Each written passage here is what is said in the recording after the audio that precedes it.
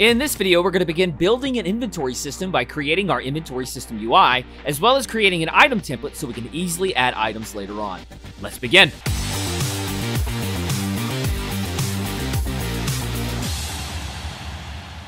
Shall we play a game? As I stated in the previous video, this build is not where I would attempt to cut my teeth if I had little to no experience with Bolt visual scripting. This is an intermediate build and there is no shame in taking one's time before jumping into something this complex. This system has a lot of features and the more features we add, the more complicated things get. Also for this build, you're going to need to go ahead and set up Bolt to run in Unity and there's a link in the description below that will help you do just that. If you're the type of person who prefers a written tutorial to the video format, I've posted a link on my Patreon page that will give you a step-by-step -step guide on how to complete each of these steps, which is free for everyone to use. If you enjoyed these tutorials and you'd like to help support my channel, be sure to choose your level of support on my Patreon page while you're there. And as I stated in a previous video, if you just want the system but don't really want to build it yourself, as my way of saying thank you to my top supporters, I've made the project files downloadable. Not only is my complete inventory system included to these supporters, but my complete 2D player controller is as well. By the time we finish today's build, this is what we're actually going to have. An inventory canvas, an inventory, an item slot, an item, and an amount on top of those items. So uh, this is actually going to be duplicated, which I have, I think, 54, is that right? Yeah, so 54 different slots. Um, and just to show you exactly how I built this, I'm going to just delete this all together and we're going to start over. So right click on the hierarchy here, go to UI and create a canvas and then we're going to rename this inventory canvas. And then over here on the right side where it says canvas scaler, we're going to select constant pixel size and we're going to scale this with screen size. And I'm going to set mine to 16.9, which is 1920 by 1080. Next, we're going to right click on our inventory canvas and we're going to scroll down to UI and then we're going to create a panel and then we're going to right click that panel. We're going to uh, select UI and we're going to create another panel. So these are two items. Uh, this first one is going to be renamed inventory and the second one was going to be uh, named item slot. Right click the item slot, go down to UI, and we're going to create an image that sits underneath that one. And this one we're going to rename item. And then we're going to right click that and uh, we're going to go to UI and then we're going to uh, hit Text Mesh Pro. Now, I've already done this, but whenever you select Text Mesh Pro, you're probably going to get an import setting. Just go ahead and import everything and just move those files. It should be sitting in the asset folder here. Just move them inside your add-ons folder, which is where I placed mine right here. Um, for the text, you're going to rename that amount, and I'll show you this next part. You're also going to need a few sprite files, which you can actually get by going to that online tutorial blog. If you scroll down right up underneath creating the inventory panel where I'm explaining this step by step, you can download the inventory panel, uh, a sprite that I have, as well as the empty slot. This is where those sprite files are going to come in very handy. So clicking on our inventory game object, uh, I'm going to navigate to my sprites folder here, and I'm going to look for my inventory right here. So clicking on inventory, uh, uh, where it says background, I'm just going to drag in inventory and set it right here. I'm also going to turn the alpha on the color all the way to 255 so it's not transparent at all.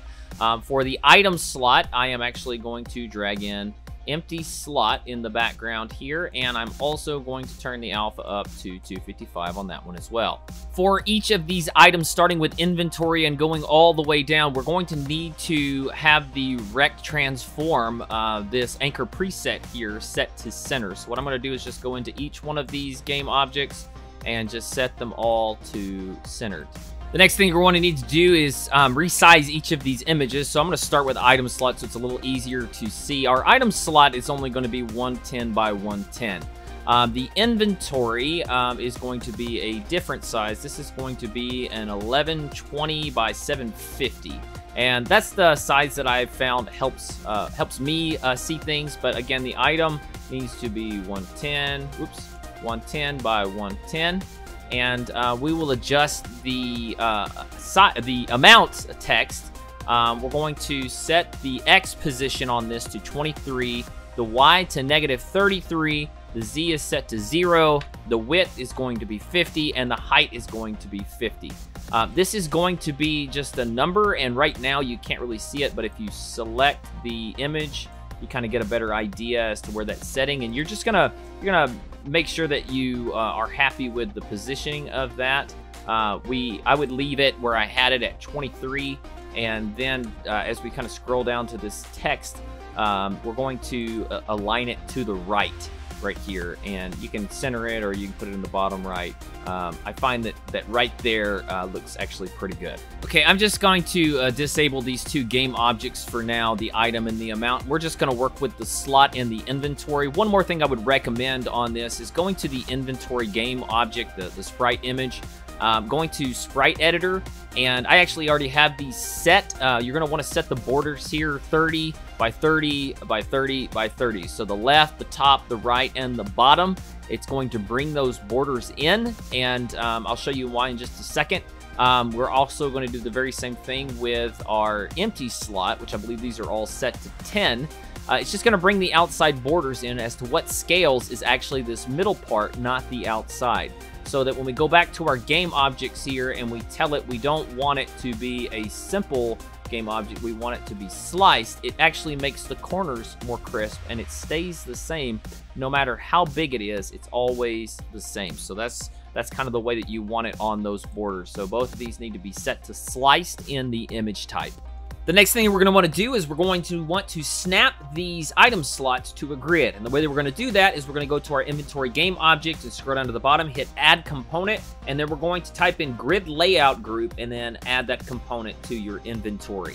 Um, we're actually actually going to have to set a little bit of the settings here. So uh, yours should look like this. Just click this little padding uh, drop down and we're going to set the left to 25 and the top to 25 and we will adjust that again here in just a second.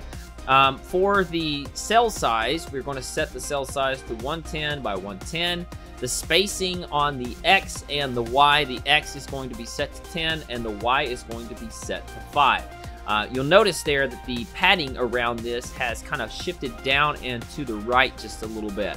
Now, if you kind of want to visualize what your inventory system will look like whenever you duplicate the rest of these items, um, you can go ahead and fill up your screen and you can get a better idea as to what your inventory system is going to look like.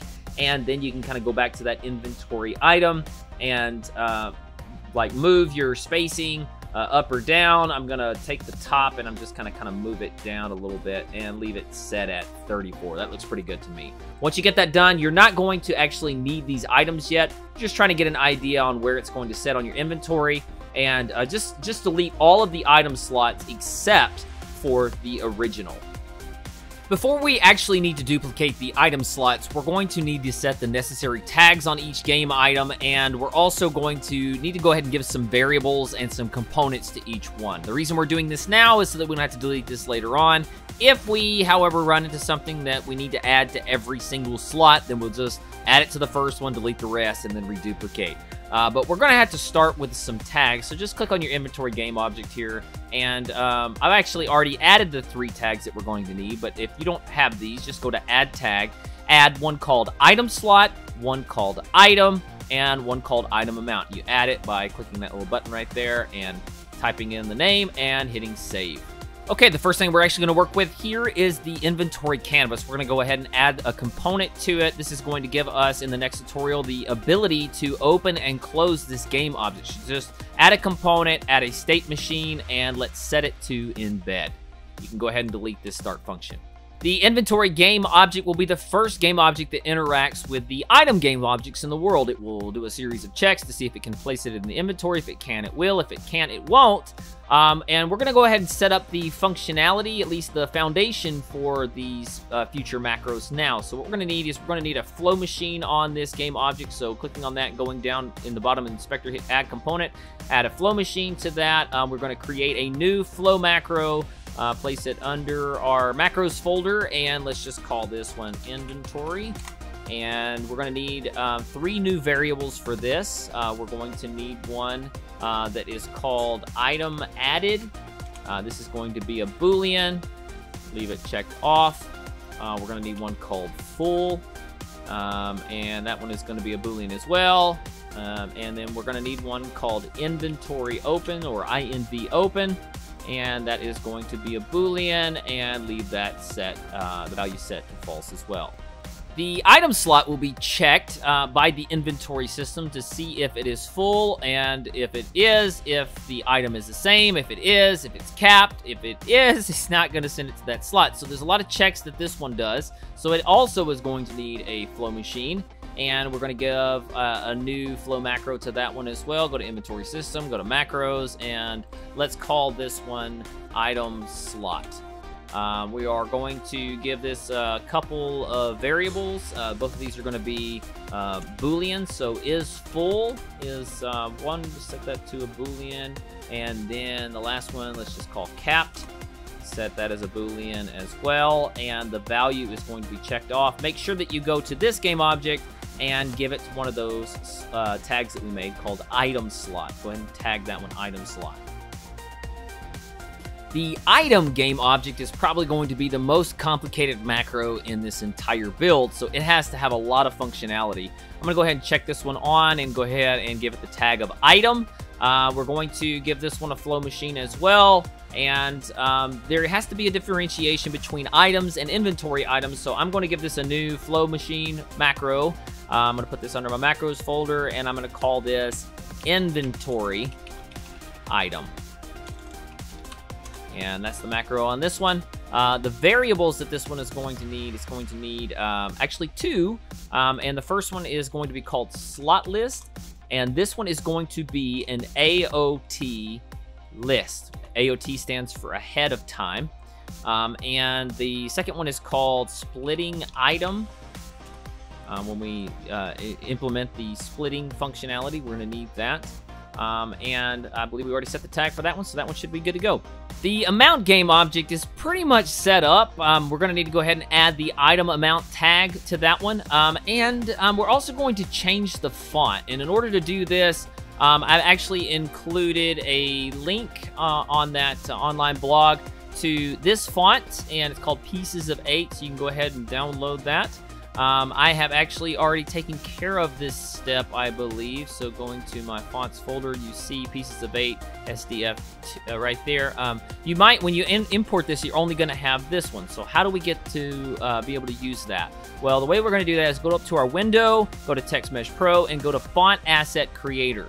Then what we're going to do is we're going to drag in our font that we want it to create, and then we're going to tell it to generate a font atlas and um, this will come up and then we're going to hit save and then we're going to call it pieces of eight. So just go ahead and click save. Then going back to our uh, amount game object I am going to select uh, pieces of eight right there. And so you should see that, that updates on my screen and uh, I'm actually going to set that to two because one is never going to be an option there. If yours is hard to see, it's probably because you have this item image on. It's, you just kind of check that off for now, and we'll come back to that in just a minute. Okay, once you get all those things set up, you should be able to now click on your item slot and go ahead and duplicate it. Whoops, I actually messed up there. I need to turn off that image.